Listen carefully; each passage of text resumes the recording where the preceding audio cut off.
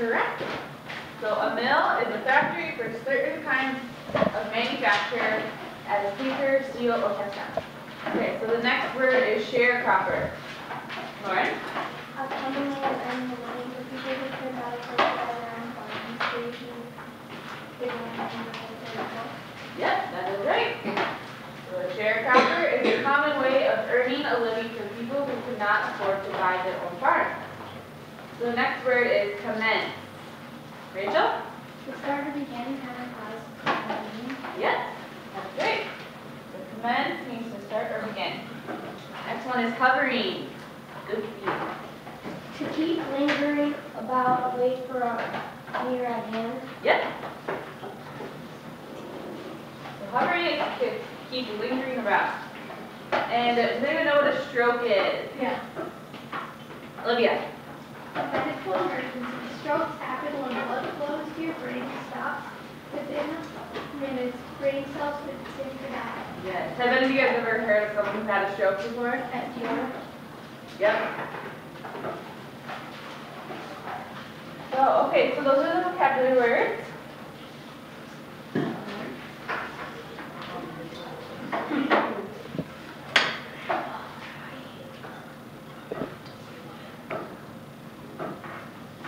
Okay, so do you guys remember last time when we did the KWL chart? Remember that? So we're gonna do the same thing today.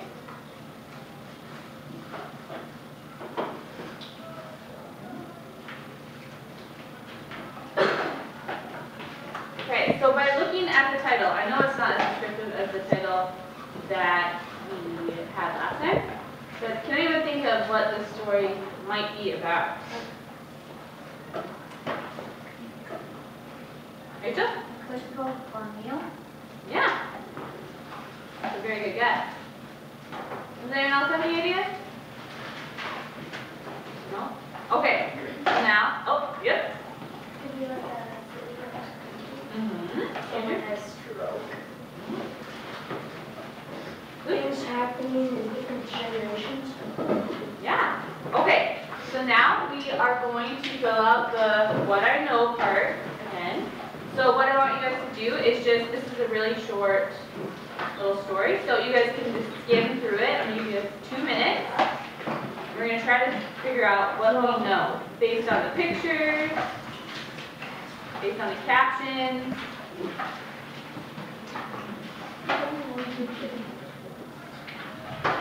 And short. And as you guys are doing this, I'm gonna pass out the KWL chart.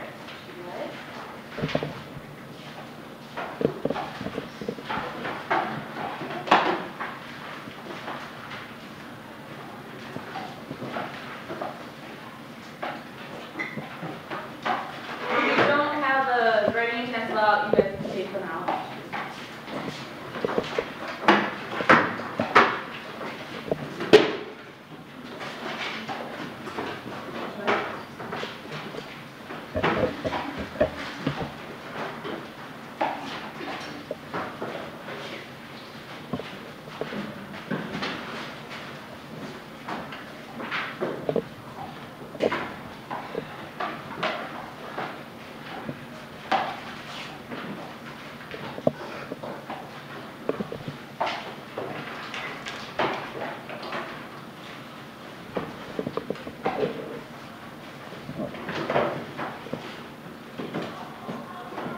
Okay, so just like last time, I want you guys to fill out your chart as you fill it up, out up here.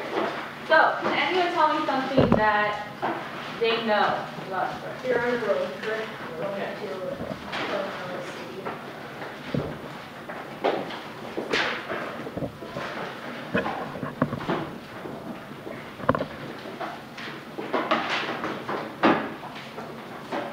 Rachel? There finally had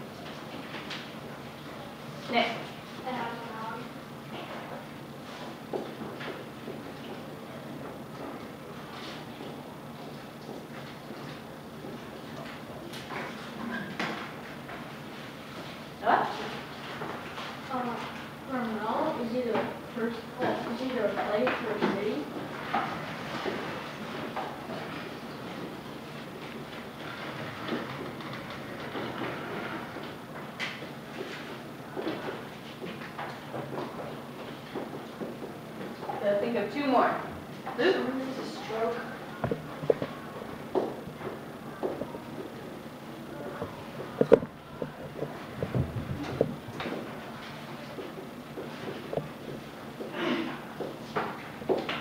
Okay, I think of one more thing.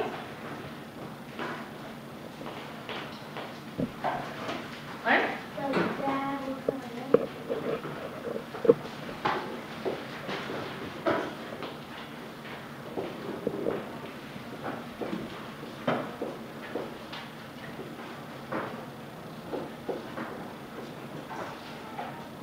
I see that some of you guys use the vocabulary words to try to figure out what you know. Okay, so now we're gonna move on to the next sec- section. Any of you guys think of any questions or things that you want to learn more about in the story now? Read it. Luke? We're really going on a road trip.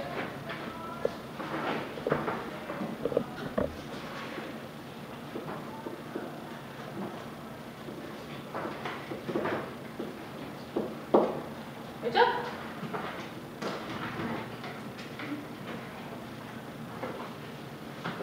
You have one? Okay, that's fine. Lauren? Okay, I'm sorry.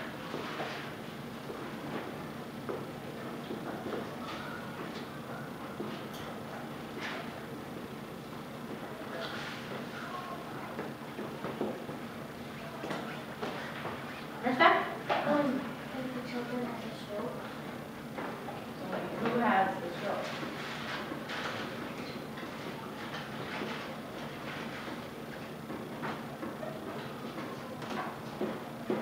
I think of two more. Rachel? Where's Anna? Great question.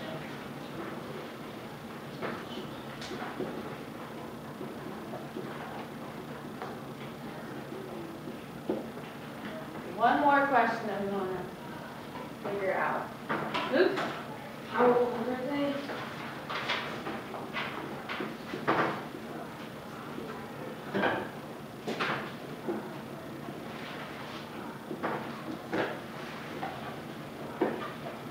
Okay. So did everyone get their charts filled out?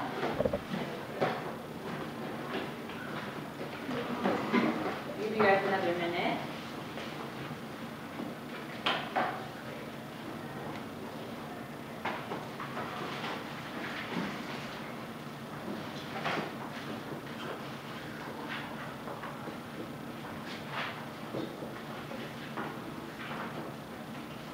Okay, as you guys finish up, I'm just going to read um, the back part about the Arthur, the Arthur, the author, really quick, so we can have a little bit of background. So, if you guys want to read along with me, I know you guys. So, meet Eloise Gre- Greenfield, the author. This selection from Child Times was written by Eloise Greenfield. Her grandmother, Patty Ridley Jones, and her mother, Lessie Jones Little, wrote other parts of the book. Each of the three women tells about the times in which she grew up and the things she remembers from her childhood. In the preface to this book, the author talk about family heritage. This book is about family. Kinsfolk touching across the centuries, walking with one hand, clasping the hands of those who have gone before. The other hand reaching back for those who will come after. We came, one behind the other, to our child time. Grandmother, mother, daughter. Just three marchers in a procession that stretches long and wide. Stretches across the ocean to the continent of Africa, back to great-grandmothers and great-grandfathers and great-greats and great-great-greats, and on and on, all the way back to the beginning of human life on earth. Stretches outward to sisters and brothers and aunts and uncles and nephews and nieces and cousins. A long, wide family procession- procession with thousands of marchers. We are just three. That's a little about the author. So can I have you guys all turn to page three forty-eight, the same story. And since it's so short, I'm gonna read it aloud to you guys. So I'd like you guys to follow along and keep in mind the questions that maybe we can find the answers to while we read, and then also some things that you've learned about the story that you can fill in after we're done. Okay? So, every summer we took a trip down home. Down home was Parmele. To get ready for our trip, Daddy would spend days working on our old car. putting it in shape to go on the road, and Mama would wash and iron all of our clothes. Then everything would be packed in the tan leather suitcase and the black cardboard suitcase, and we'd be ready to go. Mama and Daddy would sit in front with Betty on our mama's lap, and Wilbur, Gerald, and I sat in the back with our legs on top of the suitcases.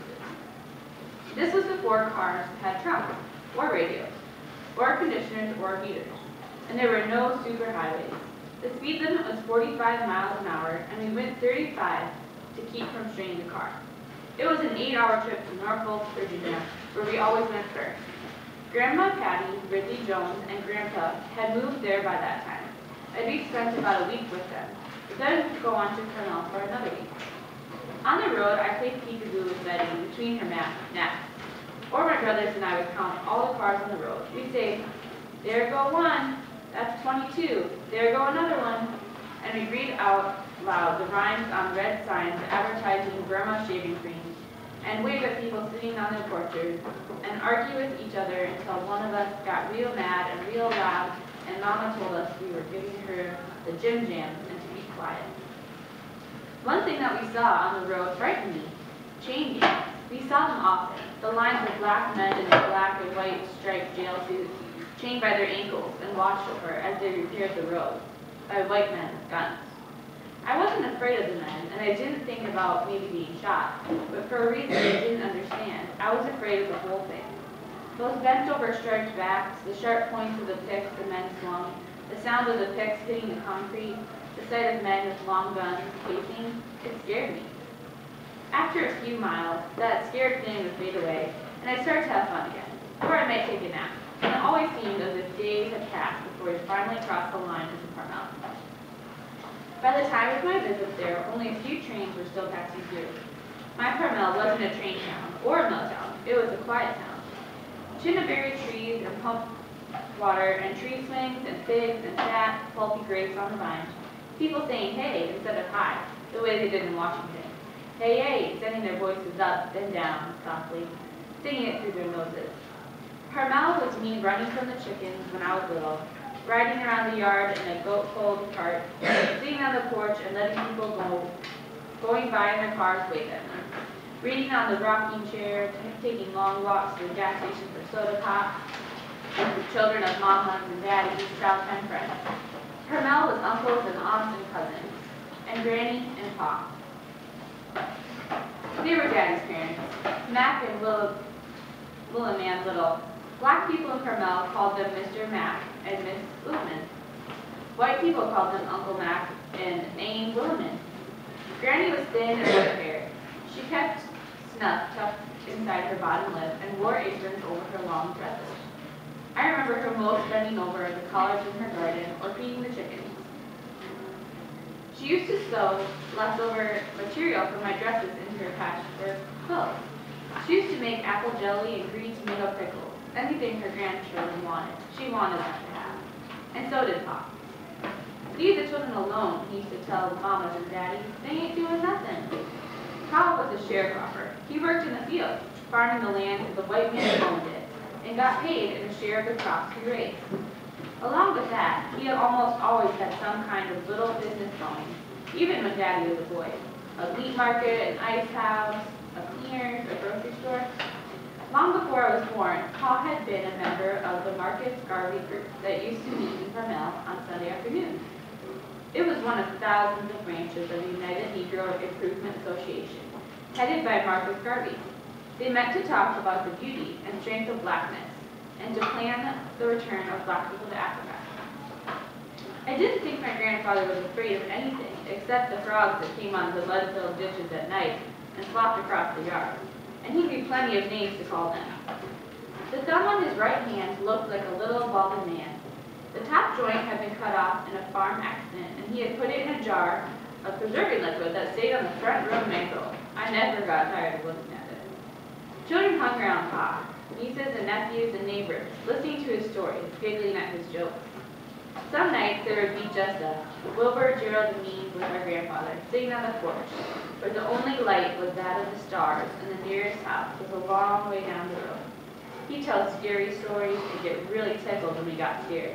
He swore his ghost stories were true. One night, he'd say, me and my brother John was coming across the field over yonder. He'd make his arms tremble and point toward the woods across the highway. And we commenced to hearing this strange sound, um, um, um, um. And we looked up and saw this, this haint. He twisted his face and narrowed his eyes in horror as he stared out into the darkness.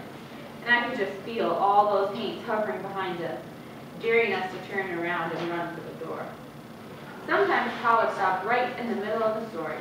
Then what happened, Pa? One of us would ask. Oh, I left after that, he'd say, and he'd laugh. Then we'd laugh, small nervous laughs, wanting to believe it had all been just a joke. Every year, when it was time for us to leave, a sudden change would come over Pa. One minute, he'd be challenging Daddy to a foot race that never took place, and the next minute, he was weak and sick, trying to get us to stay.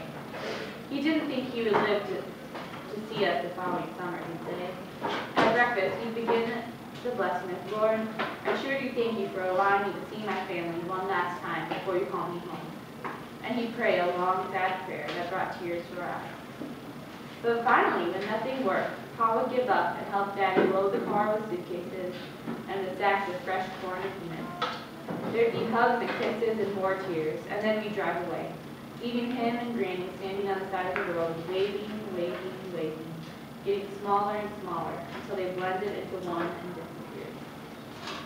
Pa never liked to leave home. Granny came to visit us a few times over the years, but Pa always made an excuse. He couldn't get away right then. He had too much work to do or something. One year, though, he had to come.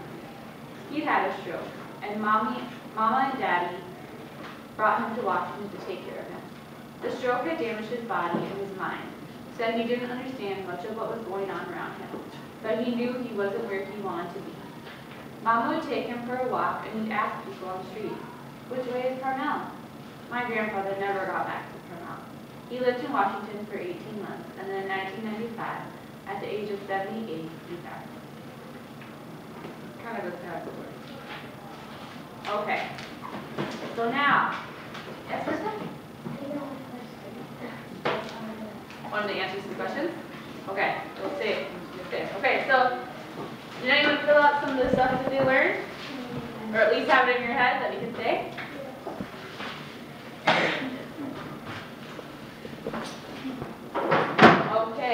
So what have we learned? Krista? That the grandfather had a stroke. Mhm.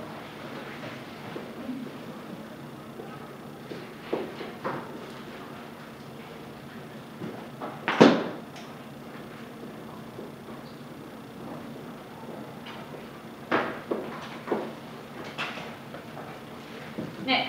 That they were going to Virginia in Carmel. Yes?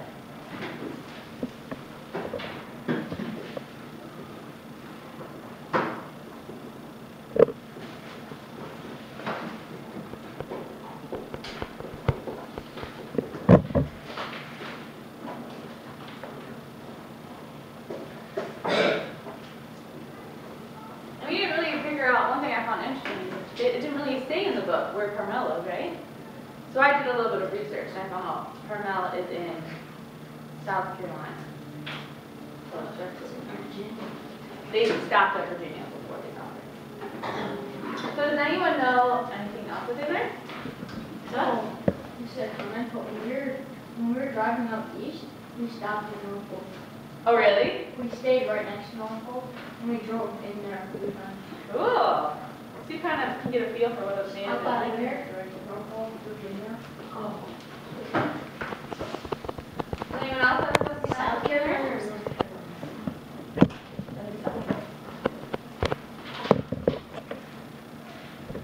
Rachel? She has two brothers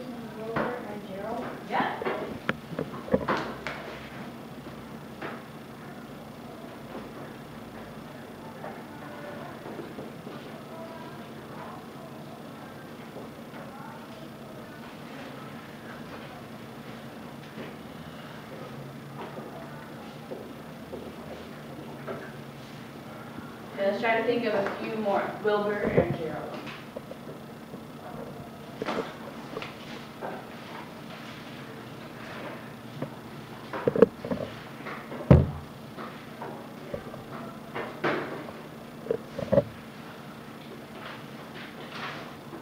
You guys can look back through the story too if you need to. Um, who is Parnell? She is a girl. Did you learn that?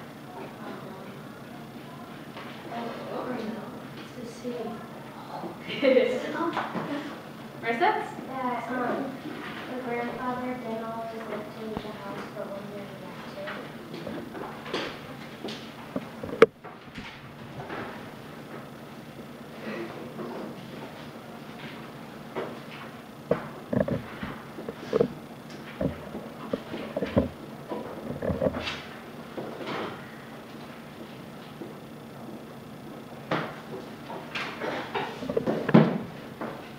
In nineteen fifty-one, at the age of seventy-eight, their grandfather He died. passed away, right? So you can put right here, that was in nineteen sixty-one. Did you read that, Morgan? Um, they have, they have a car. You have a car, yeah.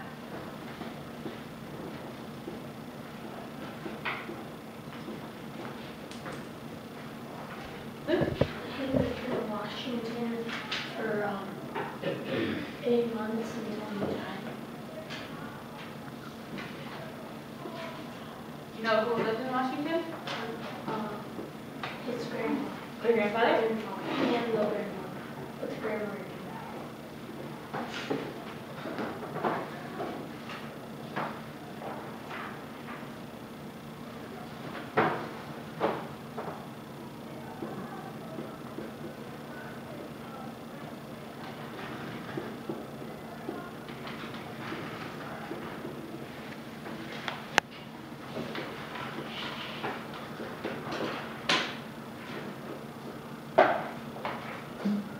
You gonna think of one more, Nick? They have a dog? We already have that. Yeah. Oh, Yeah, oh, we know. So it's already in there, you can just leave it there. Luke? He lived on a farm. Uh, when, when they lived in Manila and on a farm.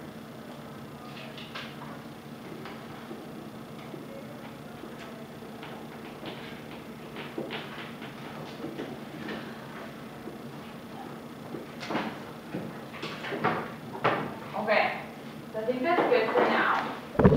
I'm gonna pass out the comprehension sheet now, but I was just wondering, do you guys feel like doing a KWL chart helps you to kind of comprehend and remember more things about the story? Can we use these for the comprehension? Yeah, you can use them. Oh. Yeah. Okay, I'm gonna pass it down. And when you guys are done, you can hand them in the back.